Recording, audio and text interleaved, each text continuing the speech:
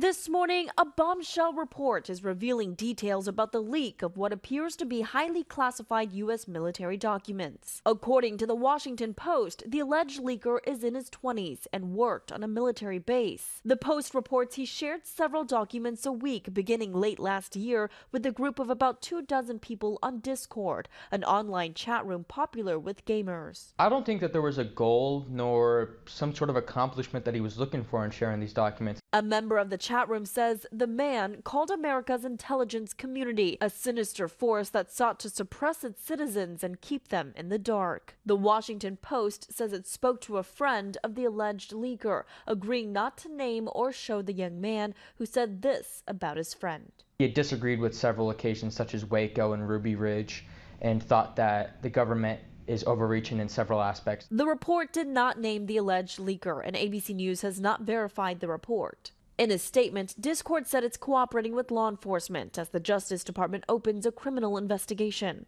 Meanwhile, the Biden administration is trying to contain fallout from the leak, which included dozens of apparently classified Pentagon documents exposing top secret intelligence. The files suggest potential problems for Ukraine, including a dire shortage of air defense missiles. The head of Ukrainian military intelligence says he spoke with his U.S. counterparts about the leak.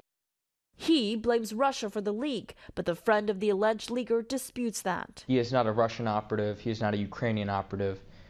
I'll go as far to say he's not even on the east side of the world. He was a, he was a young, charismatic man who loved nature, God, who loved shooting guns and, and racing cars.